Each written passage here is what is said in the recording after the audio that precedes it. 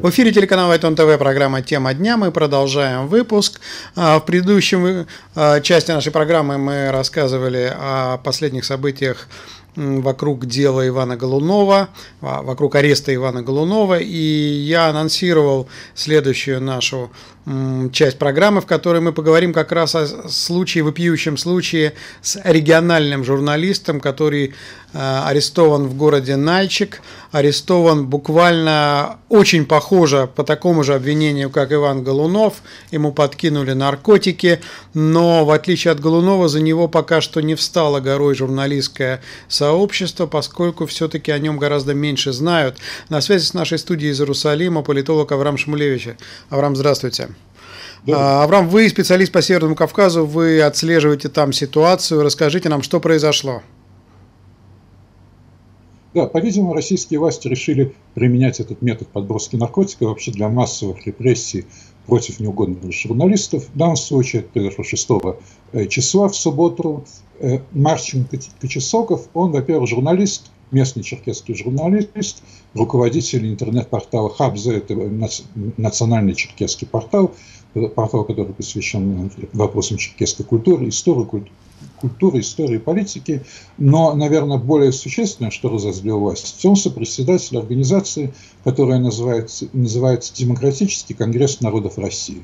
Она была образована в мае прошлого, э, в, в мае э, прошлого года, после того, как Кремль объявил э, о серии законов, которые практически Э, прекращают изучение национальных языков национальных меньшинств Российской Федерации в школах. То есть э, прекращается финансирование государственное, изучение языков.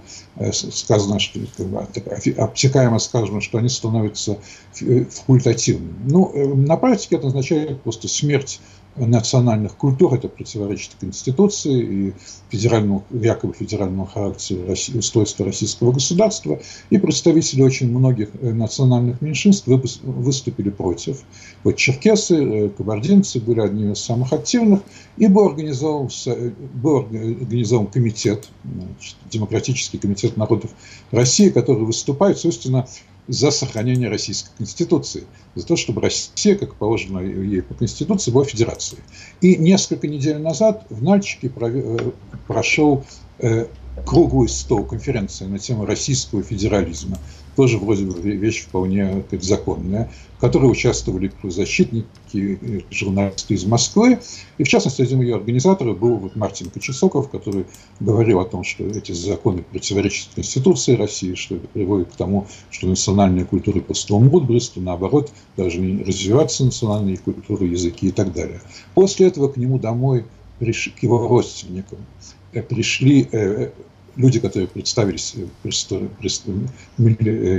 представителями полиции, и подружески ему э, посоветовали сбавить активность. Зачем? Затем в нескольких телеграм-каналах, которые как бы э, связаны, по-видимому, с, местными, э, с местной полицией, с местными властями, появились статьи о том, что Кочесоков наркоман, что он вообще чуть не иностранный агент, то есть буквально так, как вот это говорилось, что он работает на какие-то органи... Э, организации зарубежные. Вот, ну, нормально. Извините, Массад упоминался там, нет, Авраам? Массад упоминался? Массад... Нет, но евреи упоминались. Там упоминался один известный московский, он сейчас он живет уже за пределами России, э, э, специалист по Северному Кавказу Денис Соколов. Он вроде бы русский, может быть, какой-то дедушка еврей есть, да, но он там был назван рус, русско-еврейским националистом. А, ну все в порядке, и то на... есть еврейский корень есть в этом. Да, это такие этим словом не, необундовец. Это вообще какая-то такая новое изобретение э, э, кабардино-балкарских правоохранителей. Да, ну так что произошло? Как, как, его, как его взяли и что ему предъявили? Он ездил, возвращался с рыбалки, его машину остановили, и между, в багажнике между свежепойманной рыбой нашли наркотики. Ну, вот так человек, про него пишут в газете, что он распространяет наркотики, он решил это сделать, доказать делать. Mm-hmm. То есть совершенно какое-то, видимо, такое извращенное чувство юмора есть этих э, кабардино-балкарских ментов.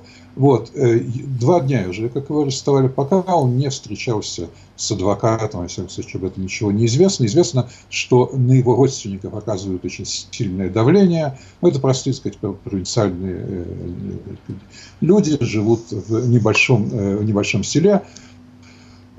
Их убеждают, что если это дело спустить на тормоза, что если они вообще не, не будут это сливать в прессу, то ему дают, дадут условный срок и так далее. Но что пока происходит с ним, повторяю, неизвестно, оказывается на него давление или нет, в какой форме, потому что никто вот его на протяжении двух дней до сих пор не видел.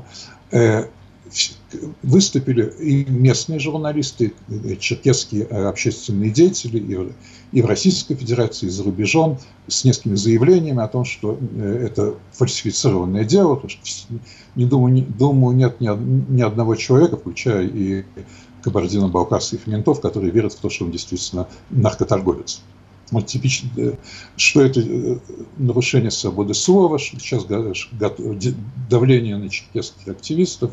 Сейчас, насколько я знаю, готовится заявление, э, которое подпишут работающие за рубежом журналисты и кавказоведы, ученые, которые знают ситуацию.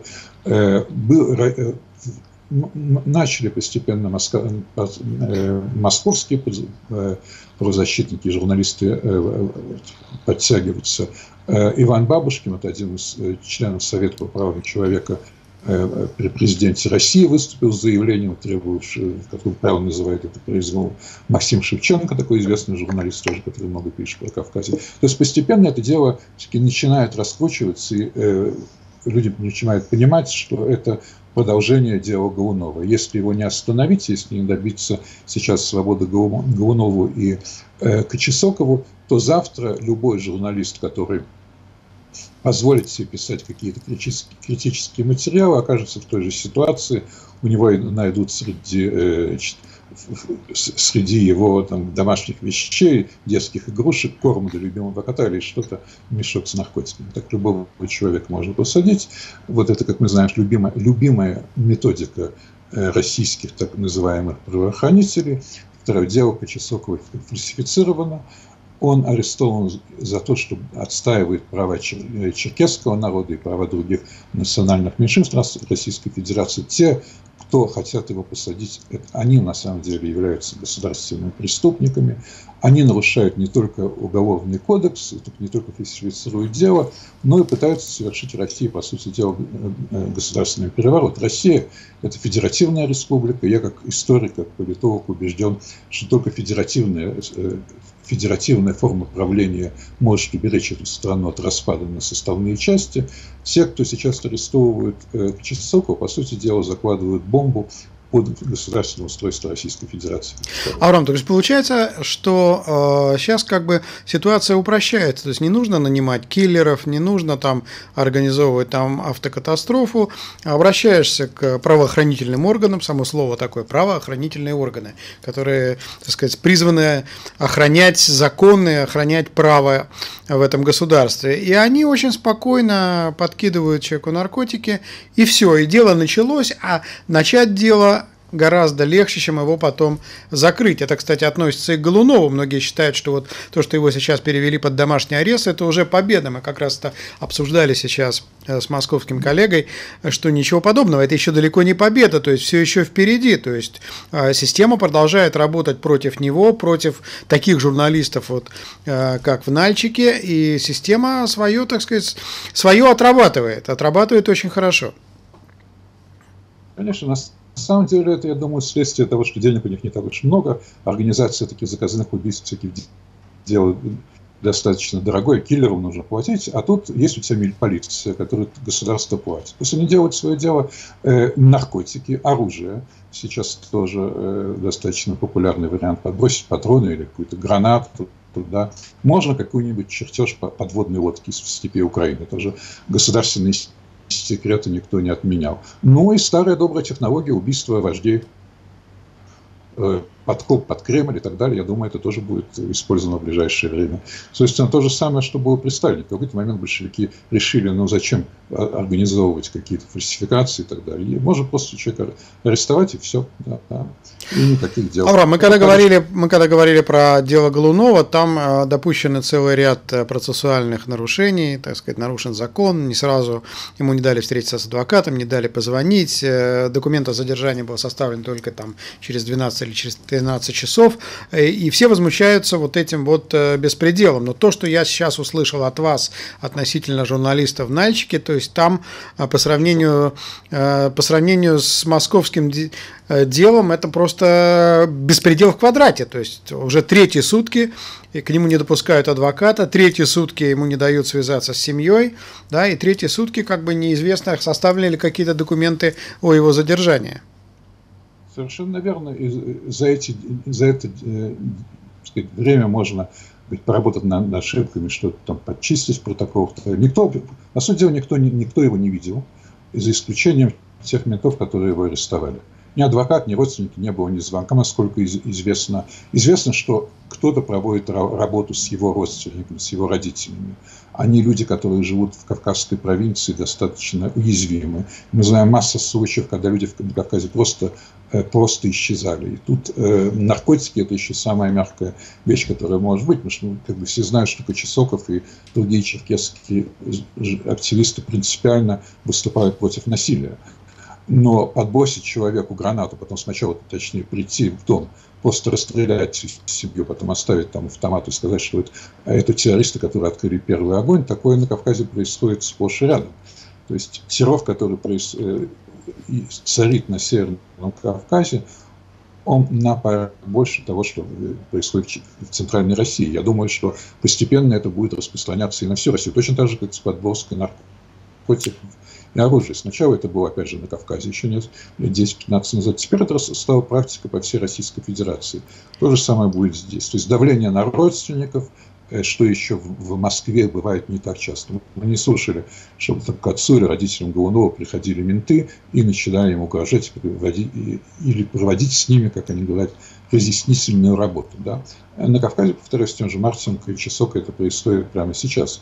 Поэтому действительно очень важно выступить в его защиту и добиться э, то есть это получается принцип бегущей волны, то есть то, что в центре происходит как бы плавно, то чем дальше от центра удаляется эта волна, тем больше резонанс, тем больше она поднимается, и тем больше диспропорция, тем больше уродства принимают действия правоохранительных органов.